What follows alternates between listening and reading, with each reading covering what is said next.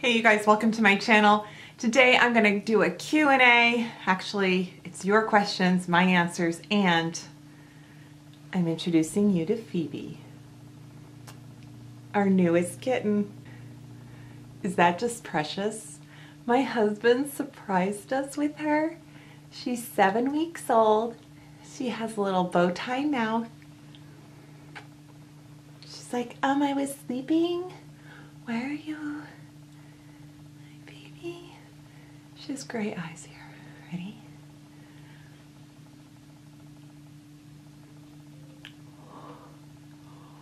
What?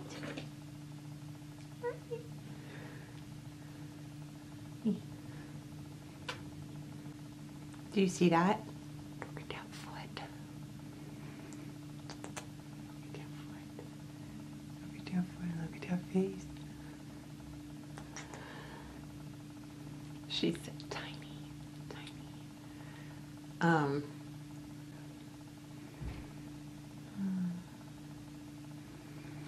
We think she has some Maine Coon in her. She's adopted. I mean, we don't know like her lineage or anything like that.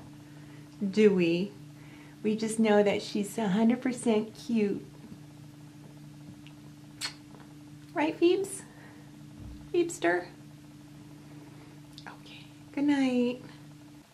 Okay, let's get into those questions. What do you wish you would have known when you started your YouTube channel? Uh, everything? No, what I wish I would have known was um, better editing skills. Still need to know that. And um, when maybe a better name, a better YouTube channel name. When I look back at my older videos, I kind of cringe. Um, I cringe. I don't just kind of cringe. I just feel like I was sort of all over the place and I wanted to be funny and I wanted to be like different and I sort of didn't know how to do it. So it took me a while to kind of just get into a pattern or a kind of groove. So maybe that's it. But then I feel like the discovery process is such a huge thing. So yeah, yeah. Sorry, that might not answer your question. Boy band of choice growing up. Well, that's funny because I was a child of the 80s. Actually, I was a teenager of the 80s. I was born in the 70s. So, before, okay, so my love of Shaun Cassidy started early. I was very young. And when that faded, it went to I loved Wham and Duran Duran. I loved them. I didn't have posters. My friend Stacy did. Um, I George Michael was my first real concert. His Faith tour. That was that was so much fun. That was good. Best makeup skincare product ever. Um, who, who, like I mean, doesn't even exist yet. Um, best makeup skincare product ever. So, makeup product. I'm gonna say that right now,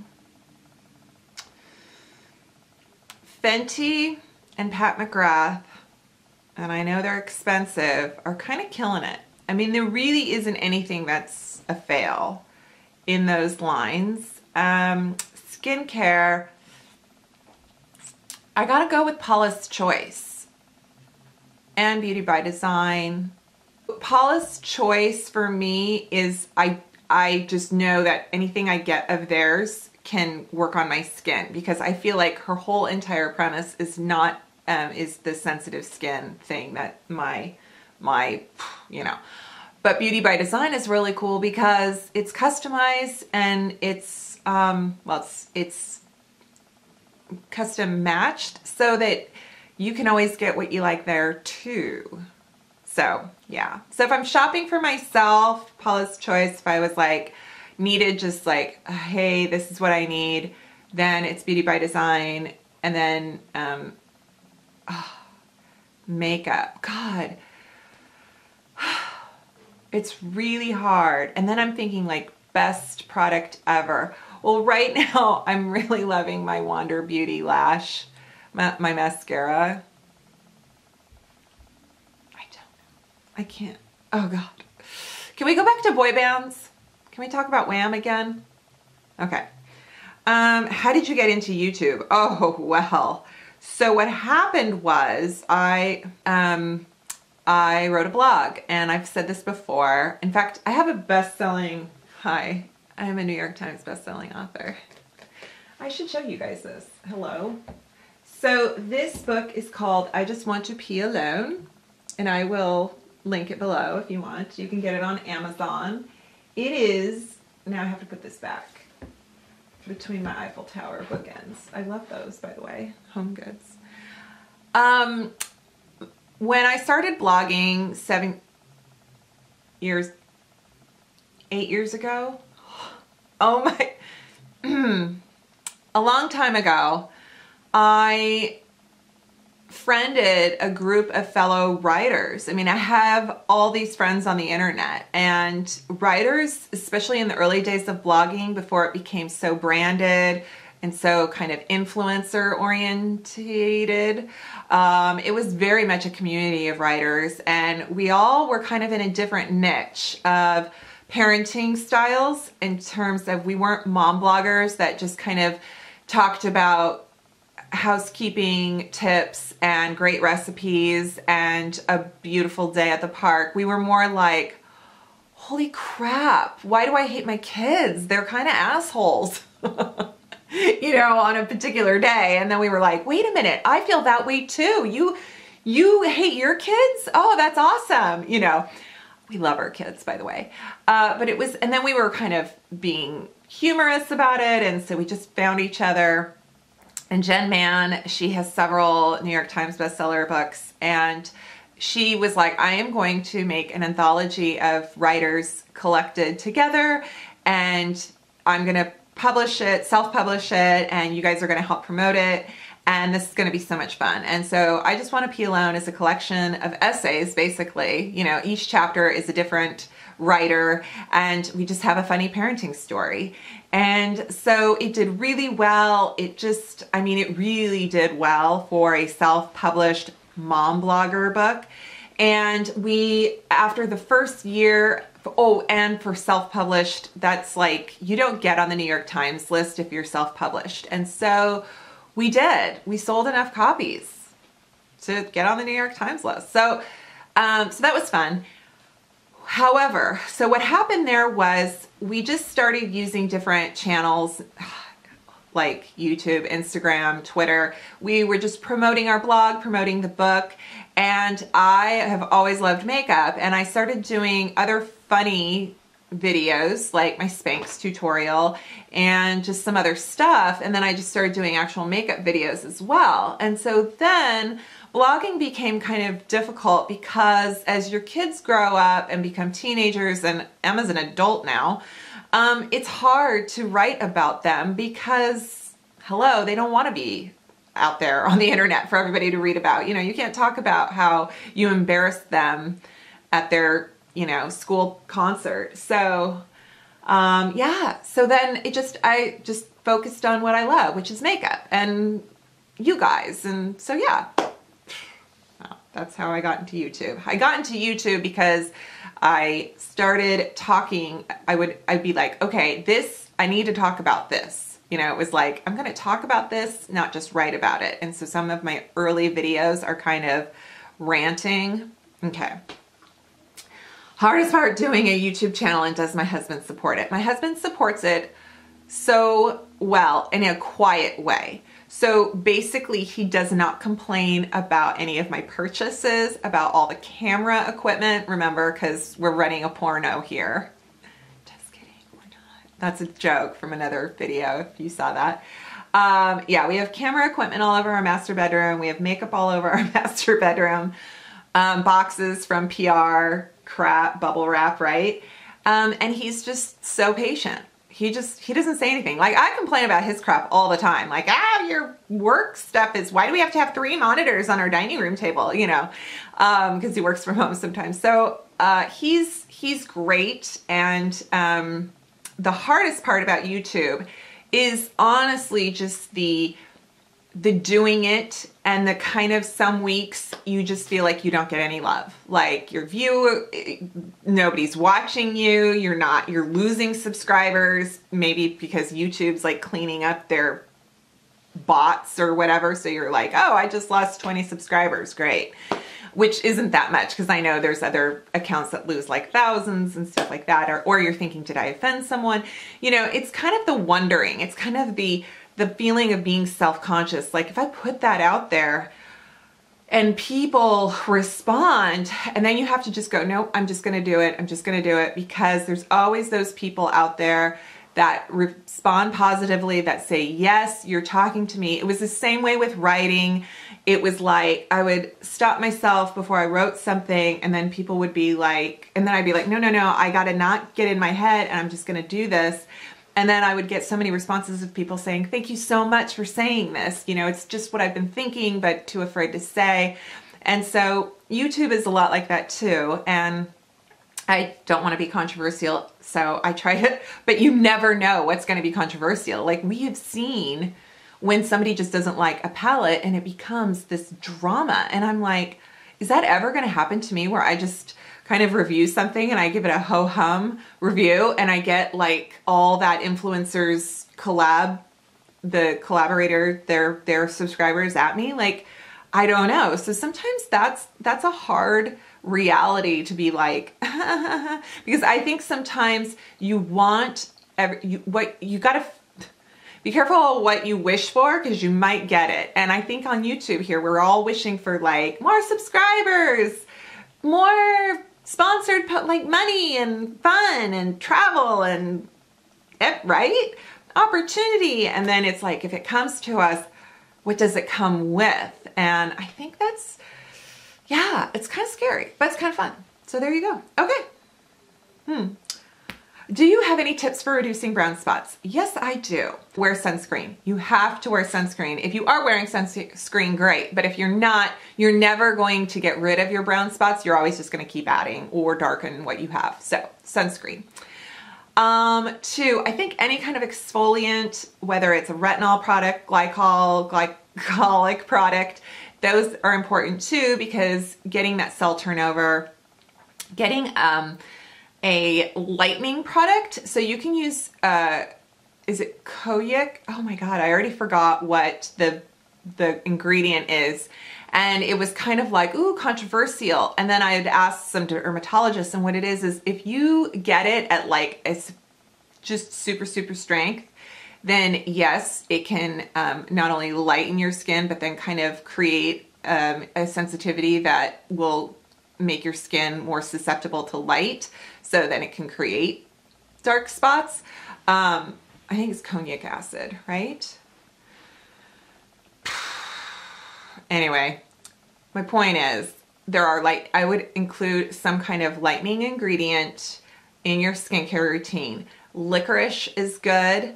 Um, and uh, ferulic acid is good. So that is great. If you can get laser treatments and you can afford them, IPL is fantastic.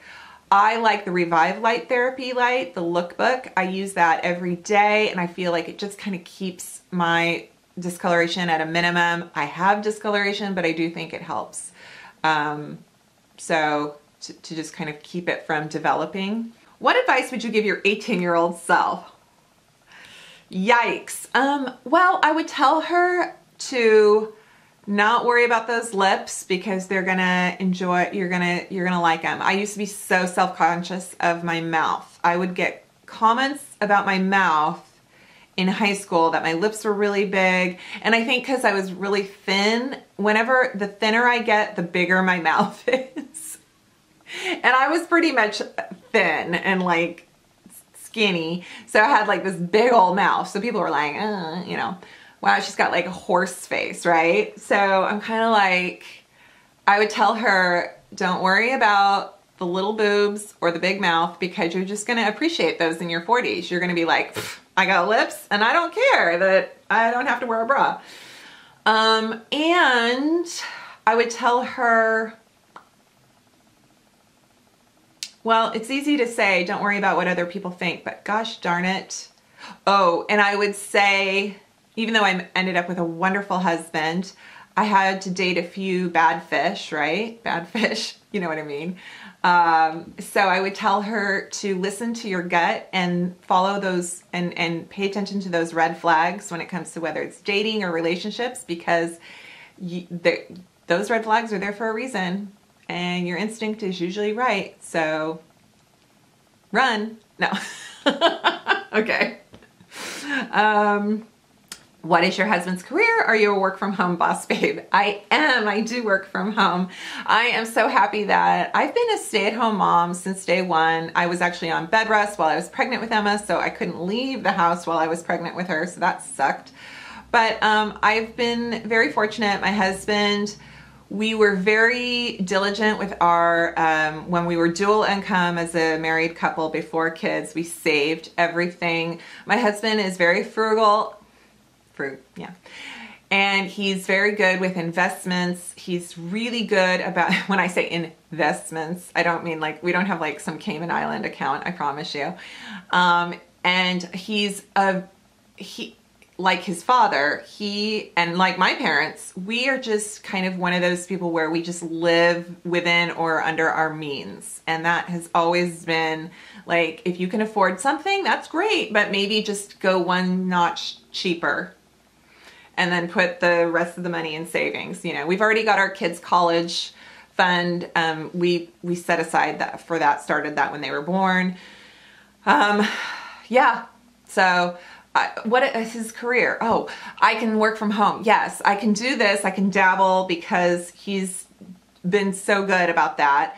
Um, he is a sales director. Um, he works for a company. He's worked for, he's worked in sales for 25 years and he's really good at it. So I'm just grateful that when we go buy a car, he's the one that negotiates and it's awesome.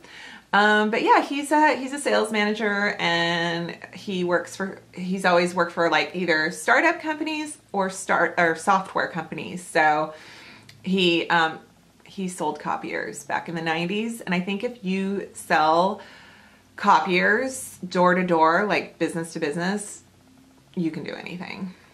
Okay. All right. Best thing you ever ate. Oh, I have so many things. Like, look at me. I'm just like, I could, I could talk about food like for days. Mm. So, so if you've never had raclette in the Alps on a mountain outside where they scrape the melted cheese off the big hunk of it and put it on that slab of bread, it is so good. It is so, so good. That was, that's, that's something I won't forget. And I was 11 years old when I ate that and I can still remember it. But other than that, I would say, best thing I ever ate. There's a bakery here in West Seattle called Bakery Nouveau, and I always am sharing it with you on my Instagram. And they have the most amazing croissants. And that chef, that pastry chef, has won awards in France. Like he is, he, I think he's French or German, but he's in Seattle and he is a worldwide award winning pastry chef and he's the best he's it, it they're they're they're phenomenal. I always tell people if you're in Seattle, you have to go to Bakery Nouveau.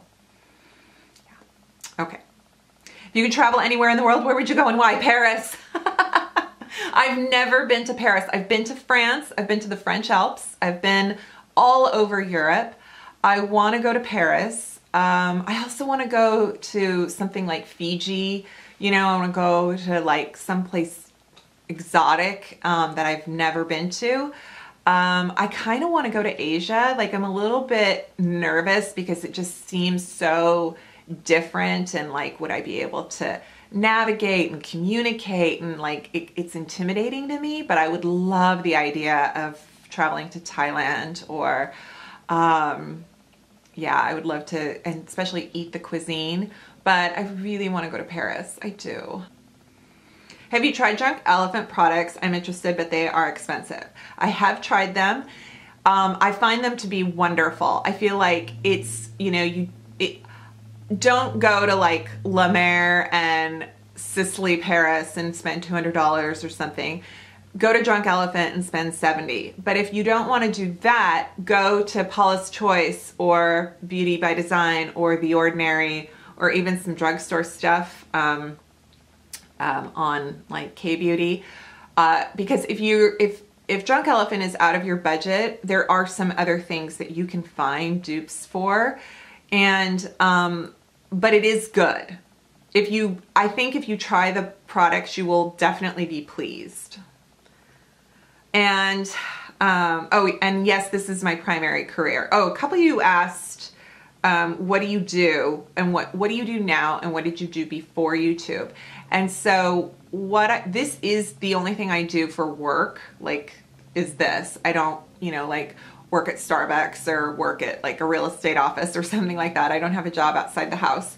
But before um, kids, I did retail and I did. A, I was an executive assistant for um, an environmental company for the VP, uh, which it was a very strange situation because I was way out of my element. Like I didn't know what the heck they were talking about, but I was like really good at being efficient and like I was good with computers and and working with people so it was kind of like I could bullshit my way so easily which is kind of what I did at conferences but um but like I was sort of the person who handled the PR and the marketing and the reception and I did yeah it was a tiny company and so when you're a tiny company, you do a lot of things. So, yeah. So I know what it's like to kind of like put on a trade show, um,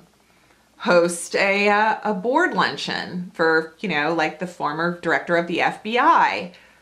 I, yeah, strange stuff like that. Um, or the director of the EPA at the time, which was during the Clinton administration. Like this was a long time ago. So what else? Um, oh, and then I, I worked retail from apparel to cosmetics, Nordstrom, you know, you name it. I also worked at radio radio and TV stations locally because that's what I had to do when I, in order to get my degree in journalism. So I've worked um, on radio and television behind the scenes. Uh, yeah, you guys asked about best boy band, but you didn't ask about best girl band. Bananarama, right? I mean, Annie Lennox. Annie Lennox. Oh my God. Sting. I probably listened to Annie Lennox and Sting on my Walkman a million times. Mm -hmm. yeah. Thank you guys so much for asking these questions. It warms my heart that you want to know about me. And I love this. If you want to ask any other questions in the comments, feel free, I'll answer them. And I hope if you've come across my channel for the first time, you stick around and subscribe and hit that bell so you can get notifications when I post. Please click a like on this video and all that good stuff. And thanks so much for watching and I'll see you next time. Bye.